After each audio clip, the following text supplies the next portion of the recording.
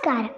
വീടും പരിസരവും വൃത്തിയാക്കി ചപ്പും ചവറും റോഡിന്റെ ഓരത്ത് കൊണ്ട് തള്ളുന്ന വിചിത്രമായ സ്വഭാവമുള്ളവരാണ് നമ്മൾ മലയാളികൾ. ഇത് മനസ്സിലാക്കിയാണ് സംസ്ഥാന സർക്കാർ മാലിന്യ സംസ്കരണം പൂർണമായി ഡിജിറ്റൈസ് ചെയ്യുന്നതിന് വേണ്ടി ഹരിത മിഷന്റെ കീഴിൽ ഹരിതമിത്രം എന്ന ആപ്ലിക്കേഷൻ തുടങ്ങിയിരിക്കുന്നത്. വീടും പരിസരവും മാത്രം വൃത്തിയാക്കിയാൽ പോരാ. ബേപ്പൂർ സുൽത്താൻ പറഞ്ഞതുപോലെ ഭൂമിയെയും ഭൂമിയുടെ അവകാശികളായ സഹജീവികളെയും ചേർത്ത് നിർത്തണമെന്ന് ഓർമ്മിപ്പിച്ചുകൊണ്ട് ഇമ്മണി വലിയ വീട് എന്ന എന്റെ കൊച്ചുകഥ അവതരിപ്പിക്കട്ടെ.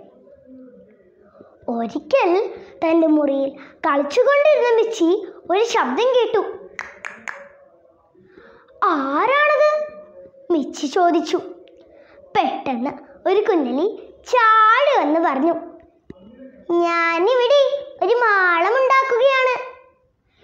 എന്റെ വീട്ടിലോ? നിന്റെ വീടോ? നിന്റെ വീട് ഇതിലും വളരെ വലുതാണ്. ഇതിലും വലിയ വീടോ? മിച്ചി ആശ്ചര്യപ്പെട്ടു. വലിയ വീട് തേടി അവൾ പട്ടണത്തിലേക്ക് ഓടി.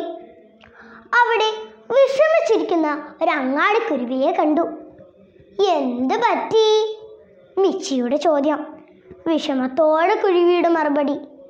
ഈ മാലിന്യവും വാഹനങ്ങളുടെ പുകയും കാണും ജീവിക്കാൻ കഴിയുന്നില്ല.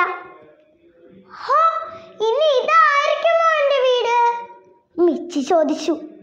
കുരുവി പറഞ്ഞു അല്ല മിച്ചി നിന്റെ വീട് ഇതിലും വളരെ വലുതാണ്. പിന്നെ അവൾ ഓടിയെത്തിയത് ഒരു കടൽ തീരത്താണ്. തീരം പകുതിയിലേറെ കടൽ വിഴുങ്ങിയിരിക്കുന്നു. അവൾ വള്ളം തുഴഞ്ഞ് കടലിലൂടെ പോയി. കടൽ നിറയെ പ്ലാസ്റ്റിക് മാലിന്യം. അതാ മനുഷ്യർ ഉപേക്ഷിച്ചു പോയ വലയിൽ കുടുങ്ങിയ ഒരു കടലാമ കഷ്ടപ്പെട്ട് നീന്തി വരുന്നു. ആമച്ചാർ പറഞ്ഞു ഈ മാലിന്യം കാരണം കടൽ ജീവികൾ ചത്തൊടുങ്ങുകയാണ്. ഹോ ഇനി ഇതായിരിക്കുമോ എന്റെ വീട്?